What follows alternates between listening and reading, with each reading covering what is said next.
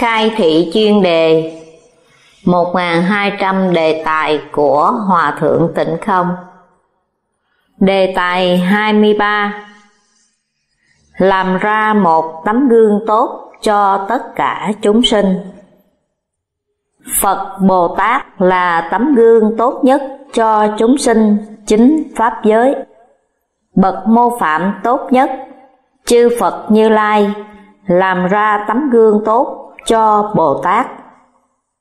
Bồ Tát học Phật làm ra tấm gương tốt cho tất cả chúng sinh. Phật Pháp phải bắt đầu từ đâu mà học vậy? Phải từ hiếu thân, tôn sư mà học. Bạn không dạy được người cả nhà của bạn tốt Thì bạn mê mà không giác. Nếu như bạn chân thật tu tự tánh Giác, chánh, tịnh thì gia đình của bạn nhất định rất là viên mãn. Người học Phật là người mô phạm cho mọi người. Gia đình học Phật là gia đình mô phạm cho các gia đình. Công ty học Phật là mô phạm cho tất cả các công ty. Cho nên, đây gọi là tác sư, tác phạm.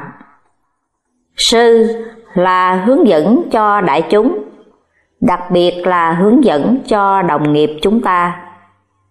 Khi bạn là học sinh, phẩm chất học lực ưu tú thì là học sinh Bồ Tát, là học sinh mô phạm tốt cho tất cả học sinh.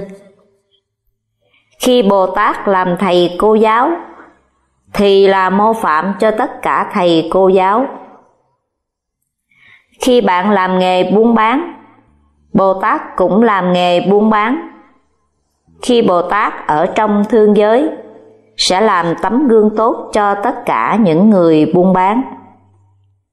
Khi Bồ Tát làm tổng thống, thì là tấm gương tốt cho tất cả các tổng thống. Nếu như bạn là bà chủ trong gia đình, Bồ Tát cũng làm ra tấm gương tốt cho mọi bà chủ gia đình khác. Đây là tác phạm không luận ở vào một nghề nghiệp nào, đều là tấm gương tốt cho nghề nghiệp đó, đều là làm ra điển hình cho nghề nghiệp đó. Đây là tấm gương tốt, giác mà không mê, chánh mà không tà, tịnh mà không nhiễm.